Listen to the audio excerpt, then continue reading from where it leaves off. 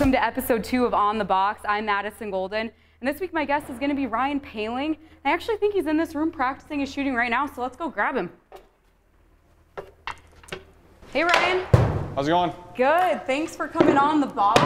Yeah, thanks for This is having our me. second edition. And before we get into our shooting game, let's talk a little bit about the CC series. Two goals Okay. for you.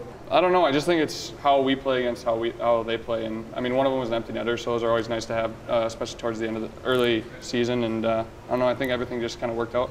And another NCHC matchup this weekend back at home against the Denver Pioneers, one of your guys' biggest rivals. You always get a good test to see where your team stands when you play Denver. They're always a good team to to play early to see where you're standing against everyone else in the conference because you know they're going to be up there. So it should be a good test for our team. All right, now we're gonna get into our game. We're gonna do a little bit of a shooting challenge. So if I hit any part of inside of the goal, I get a point, but you have to do what I tell you to do to All get right, your cool. point. Shot number one here. We'll see if I can even lift the puck. All right, so uh, you know we'll count that. I Yeah. didn't get it off the ground, but so for your first shot, we're gonna have you step on the box, Cap. and we're gonna have you go one leg, and I want top right corner. Okay. That's asking a lot. One zero you. We'll say I have to lift it off the ground to point.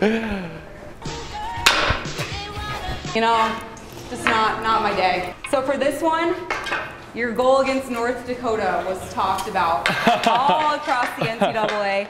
So let's see if you can, you know, right. redo it right here Yeah. for the fans.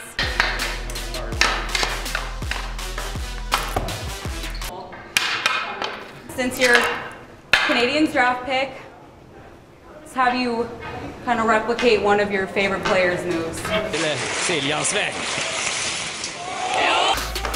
Pulls him this way and goes over him. Well, I think you took the cake on that one, Ryan. Thanks so much for coming Yeah, on on the box. thanks box. for having me. We'll see you back next time.